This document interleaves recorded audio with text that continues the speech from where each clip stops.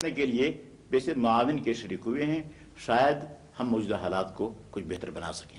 اور مجھے یقین ہے کہ تجربہ کامیاب ہو جائے گا۔ اگر ناکام ہوا تو اس کے بعد پھر اور تجربہ کوئی نہیں ہوگا۔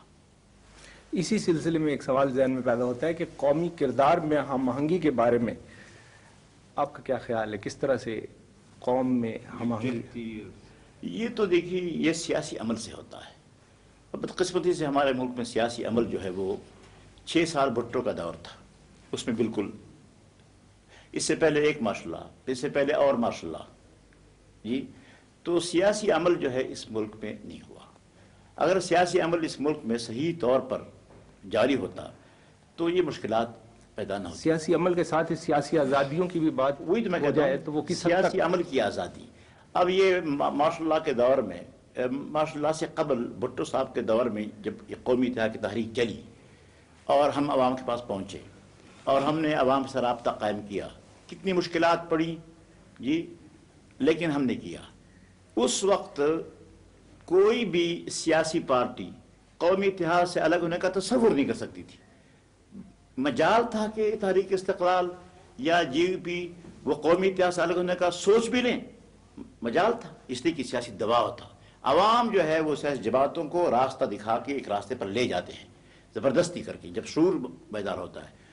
جب اس کے بعد ماشاء اللہ ہوا سیاسی عمل بند ہو گیا، جل سے بند، عوام سے ہمارا رابطہ منقطع ہو گیا، اس کے بعد ایک سر اٹھانا شروع کر دیا۔ چونکہ وہ پیچھے جی سے کنٹرول نہیں تھا عوام کا، صحیح معنی میں۔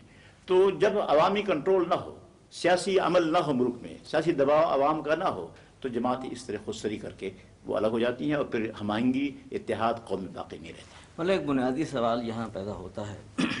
تیس سال میں ہمارے ملک نے تجربات بہت کیے پارلیمانی نظام بھی آیا ہے صدارتی نظام بھی آیا ہے مارشل لا بھی لگے ہیں پارٹیز بھی بنی ہیں پارٹیز ٹوٹی بھی ہیں سیاسی پابندیاں بھی عائد ہوئی ہیں پھر جاری بھی ہوئی ہیں۔ بے شمار تجربات ہم نے کر لیے تیس سال میں۔ جی بالکل۔ کیا وجہ ہے آپ کے خیال میں کہ ہمارے ملک کو سیاسی استحکام نصیب نہیں ہوا؟ بنیادی وجہ کیا ہے؟ ہماری قوم میں کوئی خرابی ہے؟ جی ہماری سوچ میں خرابی ہے؟ ہمارے عمل میں خرابی ہے؟ یا ہم نے ایک جو اپنے آدرش جو قائم کر رکھا تھا اس سے ہم ہٹ گئے ہیں۔ آپ کے ذہن میں کیا بات آتی ہے؟ کیوں ہمیں سیاسی میں تو یہ سمجھتا ہوں کہ قوم بہت اچھی ہے لیکن اس قوم کی تربیت نہیں کی گئی۔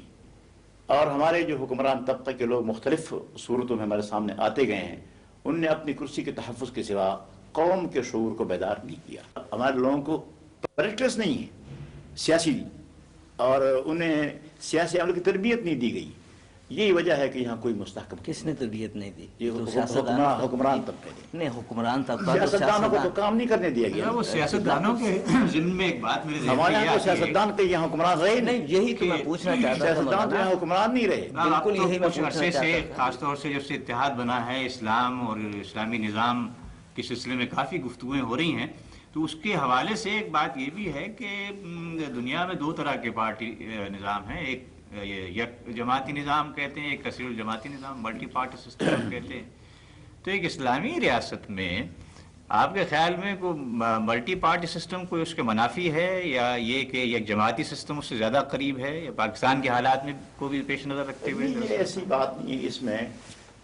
کوئی اسلام کی سری نصوص کتاب و سنت کے ایسے نہیں ہیں کہ اس میں کوئی سیاسی پارٹی بنانا کوئی جرم ہے، ایسی بات نہیں ہے۔ ہم خیال لوگ اکٹھے ہو جائیں جماعت بنا لیں اس میں فرق نہیں پڑتا۔ پھر اس کے ساتھ ساتھ یہ ہے کہ ون پارٹی گورنمنٹ میں بھی متضاد خیالات ہوتے ہیں۔ یہ نہیں ہوتا ون پارٹی گورنمنٹ مجبوری سے اس پارٹی کو تو جنگ کر لیتے ہیں لیکن ذہن کا اتحاد نہیں ہوتا۔ وہاں بھی لڑائی جھگڑے پارلیمنٹ وغیرہ میں ہوتے رہتے ہیں۔ تو میں سمجھتا ہوں کہ ہمیں مکمل طور پر اس قوم کو آزادی دینی چاہیے۔ تاکہ وہ آزاد تربیت حاصل آزادی کی تربیت حاصل کرنے کے بعد یہاں پر صحیح حکومت چلا سکیں مولانا ان بدلتے ہوئے حالات میں آپ کے خیال میں ملک کی خارجہ پالیسی کی کیا طریقے ہونے چاہیے؟ کس طرح سے اس پہ؟ خارجہ پالیسی جو ہے اس میں سب سے بنیادی مسئلہ وہ یہ ہے کہ مسلمان ملکوں سے ہمارے روابط سب سے زیادہ مستحکم ہونے چاہیے۔ یہ نظریے کی مملکت ہے ہماری۔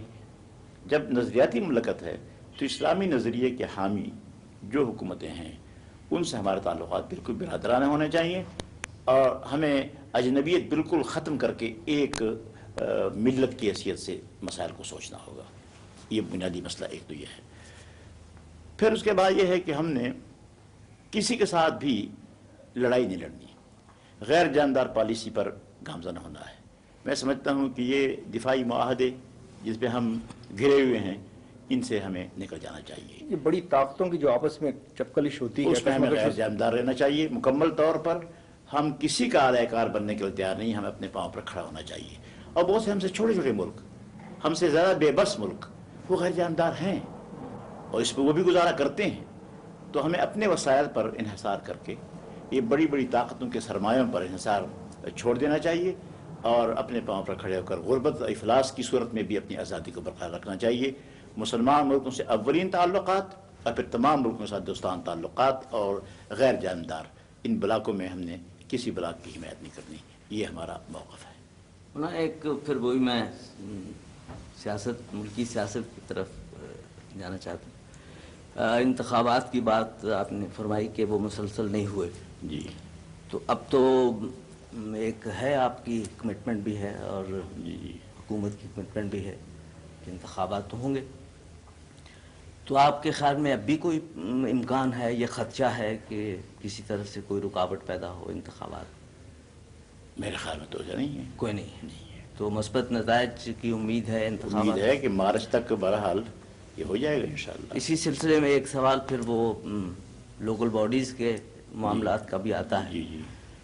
تو سوچ یہ ہے کہ لوکل باڈیز کے انتخابات قومی انتخابات سے پہلے ہوں یا بعد میں ہوں یا اگر بعد میں ہوتے ہیں تو فوری طور پہ لوکل باڈیز کا انتظام کس طرح چلے کوئی اس میں اس سلسلے میں آپ کی حکومت ہمارا جو قومی اتحاد کا موقف ہے جی۔ یہ بالکل واضح ہے۔ ہمارا موقف یہ ہے کہ انتخابات اس ملک کے اگر ممکن ہیں حالات سازگار ہیں تو سب سے پہلے قومی اسمبلی کا انتخاب کرنا ضروری ہے۔ اس لیے کہ قومی اسمبلی کا انتخاب ہی انتقال اقتدار کا ذریعہ بن سکتا ہے۔ جی اور ہم جمہوری کی طرف جا سکتے ہیں ماشاء اللہ ختم ہو سکتا ہے اور جمہوری کی طرف آ سکتے ہیں۔ بلدیاتی انتخابات سے تو حکومت تبدیل نہیں ہوتی۔ جی وہ تو پھر وہی بات ہوئی۔ تو بلدیاتی انتخابات، اس میں بھی پاکستان کا ہر آدمی ووٹر ہوگا، ہر شہری ووٹر ہوگا۔ ووٹ اس میں بھی ڈالے جائیں گے۔ محلے محلے میں لڑائیاں اس میں ہوں گی۔ یہ قومی اسمبلی کے انتخاب میں تو حلقے وسیع ہوتے ہیں نہیں دو آدمی مثلا مقابلے میں تین آدمی کھڑے ہیں، وہ تو اس میں انٹرسٹڈ ہوں گے۔ لیکن عوام اتنا زیادہ نہیں ہوتے۔ اور یہ جو بلدیاتی انتخاب میں جو محلے محلے میں لڑائیاں ہوں گی، یہ زیادہ خطرناک ہیں۔ تو اگر بلدیاتی انتخابات میں ہر شہری ووٹ استعمال کر سکتا ہے پرامن طریقے سے، تو قومی اسمبلی کے لیے کیوں نہیں کر سکتا؟ اس لیے اگر ہیں انتخابات تو سب سے پہلے قومی اسمبلی وہ لوکل باڈیز کے معاملے پہ۔ کوئی عارضی انتظام آپ کے ذہن میں آتا ہے کہ جب تک انتخاب نہیں ہوتا یہ عارضی انتظام کر لیا؟ ہم اس کو قبول کرتے ہیں۔ ہم نے قومی اتحاد کی میٹنگ میں فیصلہ کیا تھا کہ ہم لوکل باڈیز کی ضرورت کے تحت عبوری دور میں نامزدگیاں قبول کرتے ہیں۔ یعنی لیکن اس شرط پر کہ صوبائی حکومتیں قائم ہوں۔ صوبائی حکومت اگر قائم ہوں گی، اوپر سیکرٹریٹ جو ہے، اس پر ہمارا کنٹرول ہوگا ایک حد تک۔ جی تو پھر ہم لوکل باڈیز میں بھی کام کر سکیں گے۔ لیکن صرف لوکل باڈیز میں جی جانے کے بعد جب صوبائی حکومت ہمارے کنٹرول میں بالکل نہیں ہوگی یہ تو میں سمجھتا ہوں اس کے مفید تاج نہیں ہوں گے۔ اس لیے صوبائی حکومت کے ساتھ ساتھ ہم اس کو قبول کرتے ہیں۔ اور صوبائی حکومت اگر نہیں بنتی، تو ان نامزدگیوں کو ہم تو پھر لوکل باڈیز جیسی ہیں اسی طرح چلتی رہیں کوئی انتخاب سے پہلے ادغام کے امکان ہے ان جماعتوں کا جس وقت حکومت اس پر سوچیں گے ہم بڑی سنجی اور میں تو کہتا ہوں کہ اب بھی ہم ایک جماعت ہیں۔ دیکھیے یہ کہنا کہ ایک جماعت بن جائیے ہم کہتے ہیں کہ بڑی اچھی بات ہے اچھا مشورہ ہے۔ ہمیں بن جانا چاہیے ایک پارٹی۔ لیکن فی الواقع ہم ایک پارٹی ہیں۔ ہم نے فیصلہ کر لیا ہے کہ ہم نے سیاسی کام قومی اتحاد کے پلیٹ فارم سے ہی کرنا ہے۔ ہم نے اسمبلی کے اندر بھی اور باہر بھی سیاسی کام اسی ایک پلیٹ فارم سے کرنا ہے یہ طے ہے۔ اچھا اور جب انتخابات میں نشان الاٹ ہو رہے تھے تو ہمیں ایک نشان الاٹ کرنے کے لیے پیپل پارٹی نے اعتراض کیا تھا کہ یہ نو جماعتیں ہیں ان کو ایک نشان کیوں الاٹ کیا؟ ایک جماعت نہیں ہے۔ اس پر جو ہے چیف الیکشن کمشنر نے کیس سنا۔ وہ نے بحث کی اس پر اور آخر میں فیصلہ یہ ہوا کہ یہ ایک جماعت ہے۔ ہم نے سابق ہمارا دستور ایک ہمارا منشور ایک اور ہماری جو ہے انتخاب ہے صدر اور سیکٹری وغیرہ یہ سب اکٹھے ہیں۔ اس لیے ہماری جماعت ایک جماعت ہے۔ تو میں سمجھتا ہوں کہ چیف الیکشن کمیشن کے فیصلے کے مطابق قومی اتحاد ایک پارٹی ہے۔ تو ہم تو ایک پارٹی ہیں۔ ایک- مسلم لیگ ہے اور لیکن بھی ہے۔ بہرحال ہم نے میں تو ایک چیف جسٹس کا فیصلہ وہ تو تو آپ کو خود جماعتیں نہیں مان رہی صاحب ہم تھوڑی تو آپ کی جو کمپوننٹ جماعتیں ہیں وہ تو چیف جسٹس جو ہے پاکستان کا ریٹائر جو چیف الیکشن کمیشن بھی تھا اس نے باقاعدہ کیس سنا وکیلوں کے دلائل سنے اس کے بعد فیصلہ دیا کہ یہ ایک جماعت ہے، ان کا ایک نشان مولانا وہ۔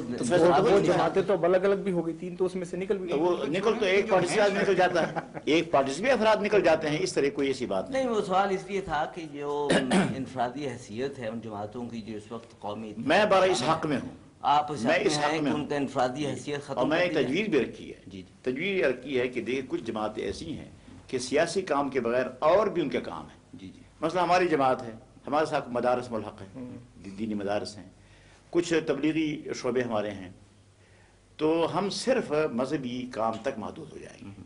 اور کوئی جماعت بھی اگر ایسا لیکن سیاسی کام ہم اپنی جماعتیں بند کر دیں گے مکمل طور پر۔ ہم ایک یہ فیصلہ ہے آپ کا؟ میں؟ تجویز رکھی قومی۔ اتحاد میں باقاعدہ اور اس پر غور کیا جا رہے گا تو ہم ہم اپنی سیاسی حیثیت اپنی جماعت کی ختم کر دیں گے۔